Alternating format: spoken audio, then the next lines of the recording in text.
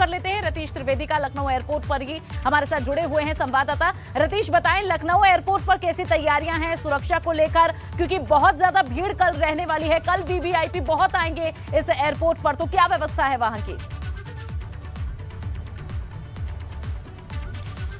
बिल्कुल, देखिए, सुबह से ही हम लखनऊ के अमौसी एयरपोर्ट पर मौजूद हैं और लगातार कई चक्र हम देख चुके हैं कि लगातार मॉनिटरिंग और स्क्रीनिंग हो रही है। बीडीएस है पीएससी है, पुलिस है सीआईएसएफ है, तमाम सुरक्षाकर्मी यहाँ पर लगातार हमको दिख रहे हैं और हलचल भी तेज होती दिख रही है क्योंकि अब से कुछ देर बाद जो उत्तर प्रदेश के सह पर्यवेक्षक बनाए गए हैं रघुवर दास, जो पूर्व सीएम झारखंड भी रहे हैं, राष्ट्रीय उपाध्यक्ष हैं वो अब से कुछ देर बाद यहाँ पर पहुँचेंगे। इसको लेकर इसके बाबत जो मूवमेंट है, वो बढ़ता हुआ दिख रहा है। ये गाड़ियाँ हैं, जो गाड़ियाँ जा रही हैं, हम अपने दर्शकों को दिखा रहे हैं। ये बीडीएस है, ये सिक्योरिटी की स्क्रीनिंग कर रही हैं मॉनिटरिंग कर रही हैं। पुलिसकर्मी पीएससी कर्मी यहाँ पर तैनात किए गए हैं, खड़े किए गए हैं लगातार। और आपको वो जगह दिखाएँ। ये वो गेट है, ये यहीं से चार बजे केंद्रीय गृह मंत्री और पर्यवेक्षक उत्तर प्रदेश अमित शाह यहाँ से आएँगे। और अब से कुछ देर बाद रघुवर प्रसाद भी यहीं से निकल करके और रुक करेंगे लोक भवन का, जहाँ पर चार साढ़े चार बजे विधानमंडल दल की बैठक होनी है और वहाँ पर नेता चुना जाएगा योगी आदित्यनाथ को।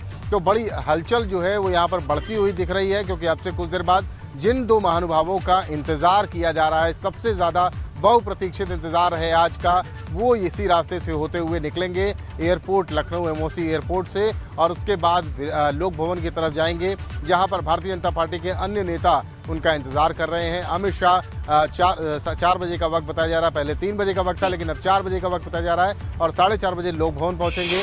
तो हमारी भी लगातार निगाह बनी हुई है। वीआईपी मूवमेंट आज दो ही है। सुबह मुख्यमंत्री यहाँ से आए थे और आ, अपनी मीटिंग्स का दौर चला रहे हैं।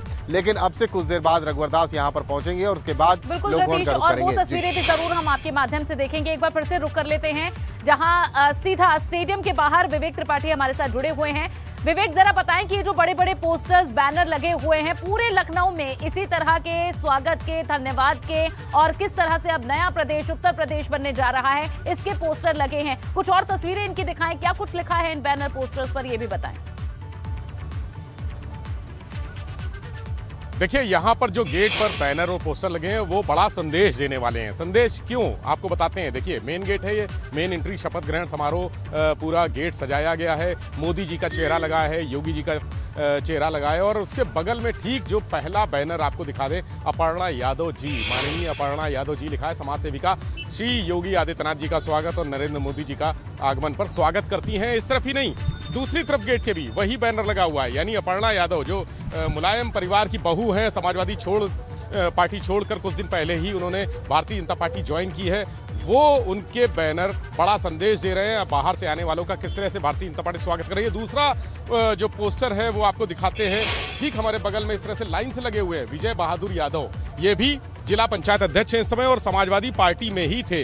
ये समाजवादी पार्टी छोड़कर भारतीय जनता पार्टी आए और अब इस समय वर्तमान में जिला पंचायत अध्यक्ष हैं और एमएलसी चुनाव भी आ रहा है, इसलिए इनकी भूमिका महत्वपूर्ण हो जाती है, चूँकि स्थानीय निकाय का जो चुनाव है, वो उसमें जिला पंचायत के ही सदस्य, ग्राम सभा के सदस्य, पंचायत सदस्य, ग्राम प्रधान वोट देते हैं, कैंट बोर्ड के लोग होते हैं और नगर निगम के जो पार्षद होते हैं, वो वोट देते हैं और इस तरह के लगातार विजय बहादुर यादव को जहाँ तक देखेंगे आप, भारतीय जनता पार्टी के झंडे हैं, कमल निशान वाले बीजेपी लिखा हुआ है और वहाँ तक विजय बहादुर यादव के पोस्टर, बैनर लगे हुए हैं और आगे हम बाई तरफ़ अगर नज़ारा दिखाना चाहें तो वहाँ पर तमाम जो पोस्टर, बैनर हैं, वो कौशल किशोर का भी बैनर है, राजेश्वर सिंह जो पहली बार ईडी से ज्वाइंट डायरेक्टर रहे, नौकरी छोड़ कर आए, उनके भी लगे हुए हैं। नरेंद्र मोदी के सबसे ज़्यादा पोस्टर लगे हो चुके भव्य स्वागत नरेंद्र मोदी का ही होना और ये पीछे जो रास्ता जा रहा है ये हेलीपैड की तरफ़ जाता है यानी स्टेडियम के पीछे तीन हेलीपैड बनाए गए हैं जहाँ पर प्रधानमंत्री नरेंद्र मोदी का हेलीकॉप्टर लैंड करेगा। चूँकि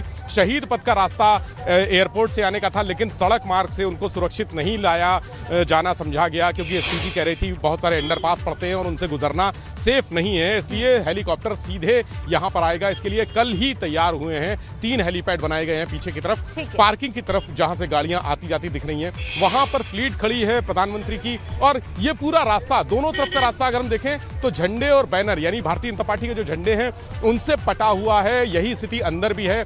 हम एक बार अंदर का नज़ारा दिखाना चाहेंगे कि अंदर वहाँ भी लगातार लाइन से जितना भी स्पेस है जहाँ भी स्पेस है वहाँ सिर्फ़ और सिर्फ़ प्रधानमंत्री नरेंद्र मोदी योगी आदित्यनाथ राजनाथ सिंह नितिन गडकरी अमित शाह और जेपी नड्डा। इन लोगों के पोस्टर ये ये पाँच छह हम आगे भी देखते रहेंगे किस तरह एंट्री की व्यवस्था की गई है आम लोग कैसे अंदर पहुँच पाएँगे और कितनी संख्या में कल लोग इकट्ठा होने वाले हैं उस पर भी चर्चा करेंगे।